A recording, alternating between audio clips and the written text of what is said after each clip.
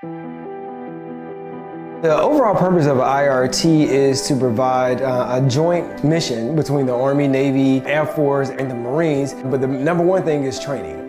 The other piece is just providing no-cost uh, health care to the community. Uh, so it's essentially like it's a humanitarian mission. So there are multiple IRTs that take place from civil engineering to medical. Georgia is medical this month and Kentucky will be the next location for it in July. So we do multiple IRTs throughout the year. No, um, we don't have to do anything for us. So, free, free yourself. Okay. Okay. We're actually providing a service that most people in this community either they don't have access to, or maybe they may not have the resources to, um, to, to pay for. It's really hard to describe how much we appreciate it um, because we only have two part-time doctors uh, we have 8,500 people. There's a really great need for medical services here. They are allowed to see either dental or optometry, but they are always able to see medical or mental health. We are checking vision, intraocular pressures.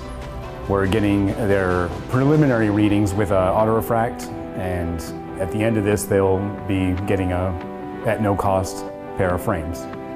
Full time, I work in an optometry clinic with the VA. I already work with veterans. I really enjoy IRTs because it can help me give back to the community. Uh, I mean, we've had people shed tears. It's, it's a really wholesome experience.